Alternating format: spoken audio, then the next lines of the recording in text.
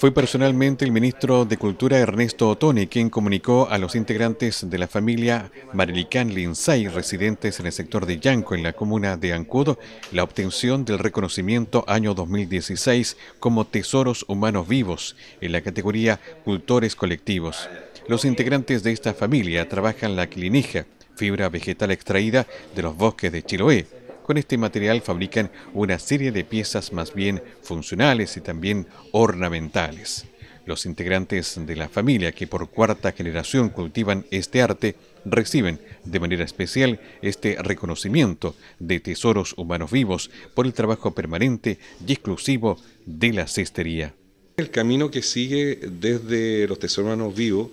es cómo nosotros fomentamos a que estos oficios, estas tradiciones, estos saberes de cultores y artesanos tan importantes no desaparezcan. Entonces ahora viene todo el camino que no solamente la entrega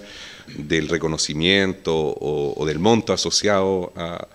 este premio, sino también de qué modo nosotros, y ahí hablo desde la institucionalidad cultural, hablo obviamente de la DIVAM, del Consejo, logramos eh, primero proyectar y difundir el quehacer y los saberes que nos transmiten eh, nuestros tesoros humanos vivos, sino también cómo logramos que hayan nuevos cultores que sigan estas tradiciones vivas y no solamente dentro del ámbito de, lo que es la memoria o el patrimonio que vamos acumulando como país.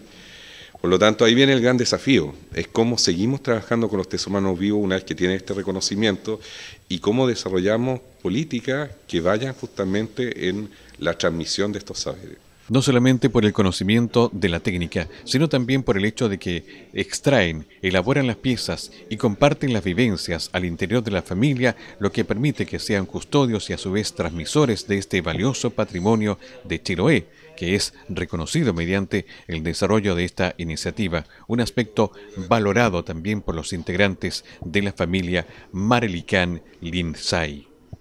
Este ya viene siendo la cuarta generación Así que estoy contento que haya sido reconocido porque este viene de los bisabuelos, abuelos, padres y nosotros somos los hijos que estamos final. Así que estoy contento con, con haber recibido este premio